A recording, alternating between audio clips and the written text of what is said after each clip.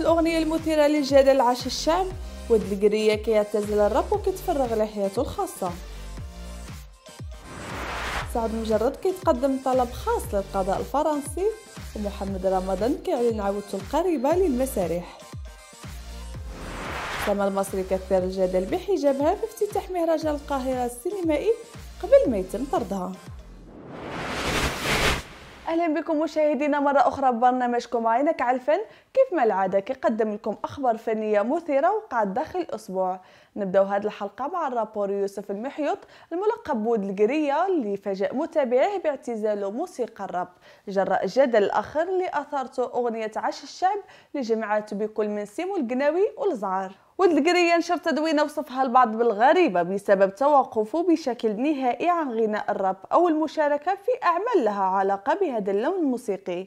قائلا في منشور شاركوا مع متابعيه على الانستغرام باي الراب حياة جديدة صفحة جديدة سولو ديال راسي. وكان ود القرية أكد في إحدى تصريحاته أنه دخل السجن 28 أو 29 مرة وهو سبب تسميته ود القرية. اللي أعطاها له موظف السجن إذ أنه ابن القضبان. ود القرية هو كاتب أغنية عاش الشعب اللي أصدرت يوم 29 أكتوبر وهي من إنتاج مشترك بين مغني الراب يحيى السملالي الملقب بالزعر ومحمد منير الملقب بالقناوي. الموجود حاليا رهن الاعتقال احتياطي بسبب تهم لا علاقة لها بالأغنية المذكورة بل تتعلق بالشتم وإهانة المؤسسات.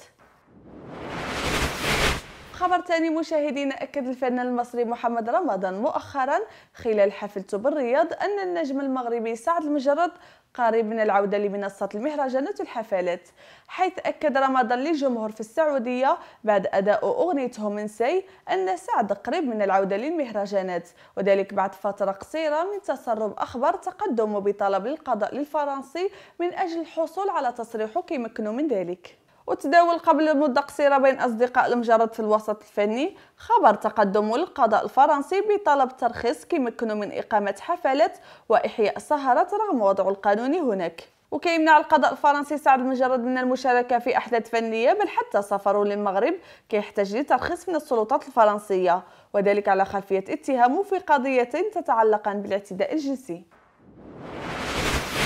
فاجأ الفنان المغربي الشاب زكريا غفولي من حضر اليوتيوب مؤخرا لأغنيته المعنونة بلا تكبر الشان بسبب عدم احترامه لحقوق الملكية الفكرية بعد ما قام الفنان مراد القصراوي بالتبليغ عن الأغنية لإدارة اليوتيوب.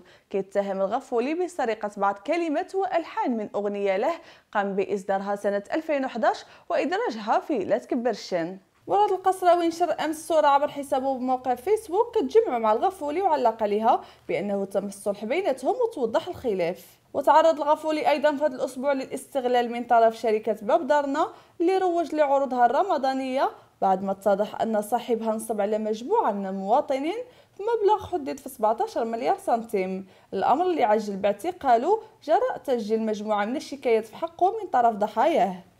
وكان الغفولي قد وقع عقد مع باب دارنا بقيمة 35 مليون سنتيم مقابل تقديمه لإحدى أغانيه المشهورة بكلمات كتروج لعروض الشركة.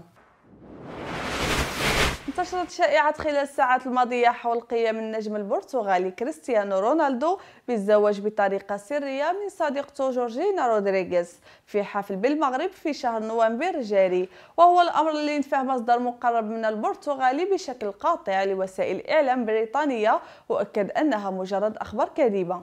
وادعت العديد من المجلات العالمية أن حفل الزفاف المزعوم أقيم في المغرب بعد ساعات من حضور الثنائي لحفل جوائز ام تي في اللي تقام بمدينة إشبيلية الإسبانية في بداية نوفمبر. هذا وخرجت صحيفة ديلي ميل البريطانية لتنفي أيضا زواج كريستيانو رونالدو من صديقته في المغرب بل وأكدت أن اللاعب ما التقاش فترة طويلة مع صديقه بدر هاري اللي تقال أنه منظم الحفل.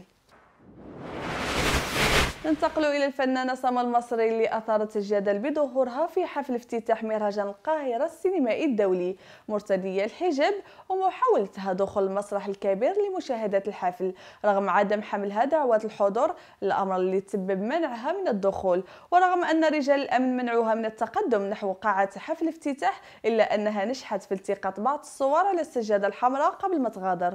وحضرت سما المصري افتتاح الدورة الواحد وأربعين من مهرجان القاهرة السينمائي بمظهر غير معهود عنها. إذا ارتدت الحجاب وعلقت على ذلك في تويتر بالقول أنها حرة في ارتداء الحجاب في أي وقت تشاءه. طالما كتشعر أنه زي مناسب لها معتبرة ذلك شأن خاص بها وأشارت إلى أنها اشترت كافة الأزياء اللي حضرت بهم للمهرجان من محل أسعاره رخيصة جدا وأضافت أنها ما كتسعاش للإساءة إلى الحجاب مثل باقي الفنانين. وما شغلت سما المصري مواقع التواصل الاجتماعي بارتدائها الحجاب فقط بل بتعرضها لموقف محرج كذلك. ظهرت في فيديو هي تطرد من السجادة الحمراء من طرف أمن مهرجان. وتردد في الكواليس حسب ما نقلت تقارير إعلامية أن سما المصري حضرت حاملة دعوة أخرى موجهة لشخص آخر. في حين قالت تقارير أخرى أنها حضرت من دون دعوة وهذا سبب طردها. مشاهدينا بهذا القدر كنكون وصلنا لختام هذه الحلقة. نتلاقاو الأسبوع المقبل مع أخبار فنية جديدة. إلى اللقاء.